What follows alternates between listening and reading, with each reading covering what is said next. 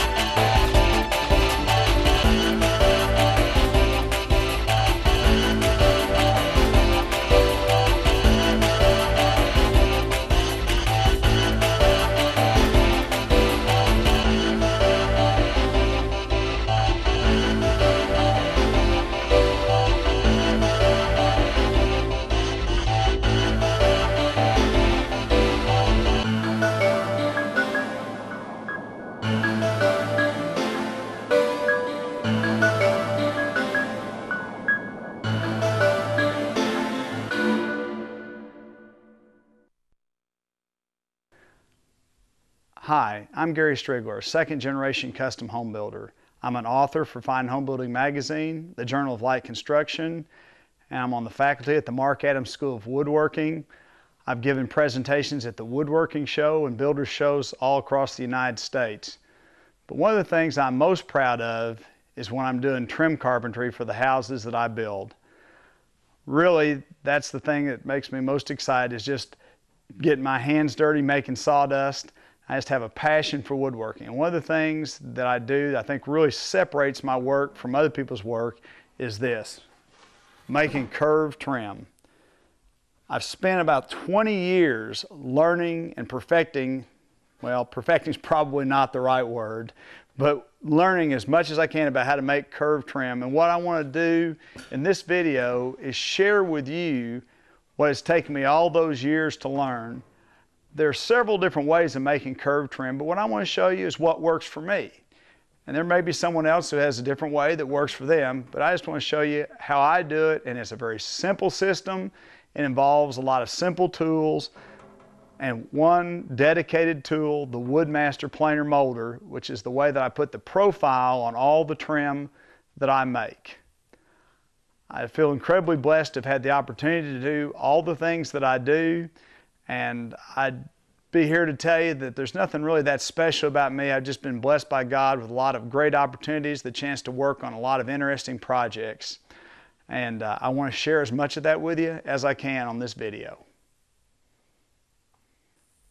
Most of the curved trim that I make is casing trim to go around curved windows, doors, or arched openings. And it comes in three different shapes or forms. First of all, just a half a circle, which is commonly called a circle top. The second type is an eyebrow or segment, and that is a part of a much bigger circle. It's going to look literally like an eyebrow. And then the third type would be a elliptical piece which starts out on a tight radius, blends into a greater radius, and then goes back to a tight radius. The elliptical piece and the circle top both have a 90 degree cut where they meet the straight pieces, but the eyebrow is going to have a miter joint where it meets the straight side pieces. Usually it's anywhere from a 15 to a 20 degree angle.